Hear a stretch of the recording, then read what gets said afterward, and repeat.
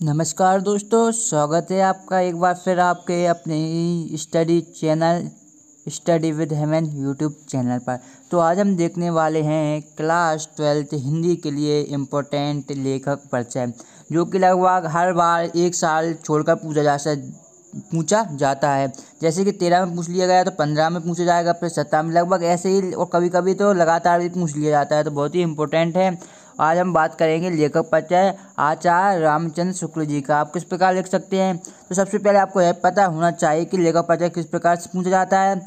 तो आपको तीन ऑप्शन रहे होते हैं। तीन ऑप्शन के ज़रिए आपको अपना लेखक परिचय लिखना होता है। पहले होती है दो रचनाएँ, उसके बाद होती है हमारी भाषा शैली और फिर होता है साहित्य में स्थान। इन तीन स्टेपों के माध्यम से आपको अपना क्या लेखक परिचय लिखना होता है। तो इन तीनों स्टेपों को आपको अच्छी तरीके से समझना होगा कि कौन से स्टेप में आपको किन बारी की चीज़ों को लिखना है जिससे आपको फुल मार्क्स मिले। कुछ स्टूडेंट क्या कहते हैं, फुल लेके आते हैं, दो तीन पेज का फिर भी उन्हें फुल मार्क्स नहीं मिलते। तो इसका क्या कारण है, वो भी मैं आपको बताऊँगा। तो वीडियो को लास्ट तक ज़रूर देखें और अगर आप चैनल पर नए आए हैं, सब्सक्राइब कर लीजिएगा और बेलाइकन प्रेस कर लीजिएगा जैसे जब भी हम कोई भी वीडियो डालें, उसकी नोटिफिकेशन सबसे पहले आप तक पहुँच है। आज की वीडियो शुरू करते हैं। तो यहाँ पर सबसे पहले देख लेते हैं आचार्य रामचंद्र शुक्ल की दो रचनाएँ।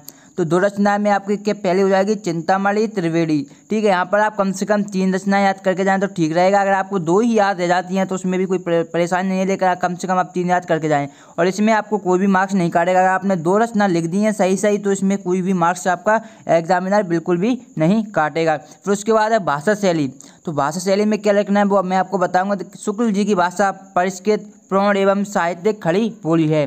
शुक्ल जी की भाषा में व्रत का आडंबर नहीं मिलता। शुक्ल जी की शैली में भारतीय पाश्चात्य शैलियों का समन्वय है, फिर भी उन्होंने इससे हटते हुए अपनी शैली को भी अपनाया है। उनकी शैली समाज के रूप में, प्रारंभ होकर व्यास शैली के रूप में समाप्त होती है।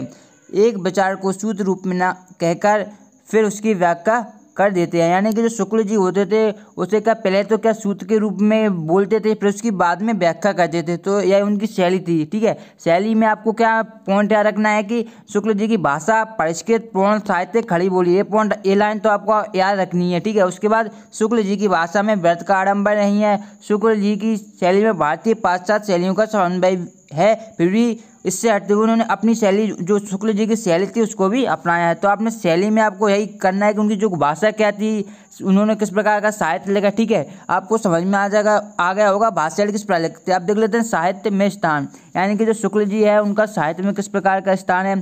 तो साहित्य में स्थान, तीसरा पॉइंट है हमारा। तो शुक्ल जी को हिंदी साहित्य के श्रेष्ठ आलोचक, निबंधकार, इतिहासकार एवं साहित्यकार के रूप में याद किया जाता है। तो जो शुक्ल जी थे वो क्या एक जो हिंदी साहित्य के श्रेष्ठ आलोचक भी हैं, आपने पढ़ा होगा, श्रेष्ठ आलोचक भी थे, निबंधकार भी थे, इतिहासकार एवं साहित्यकार सभी थे, ठीक है, याद किया जाता है। इनकी विलक्षण, यानी कि जो अभूतपूर्व कह सकते हैं विशिष्ट कह सकते हैं विलक्षण प्रतिभा के कारण ही उनके समकालीन हिंदी गद्य के काल को शुक्ल युग के नाम से संबोधित किया जाता है। तो इसका मतलब यही हुआ कि जब जो शुक्ल जी जब जिससे हिंदी साहित्य में जब जो कविता या जो भी लिखते थे तो उस उस वर्ष का जो भी काव्य था, उसे क्या शुक्ल युग के नाम से जाना जाता है? आपने पढ़ा भी होगा शुक्ल युग ठीक है?